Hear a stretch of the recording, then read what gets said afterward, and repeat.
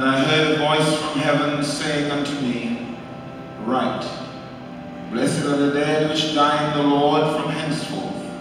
Yea, say the Spirit, that they may rest from their labors, and their works do follow them.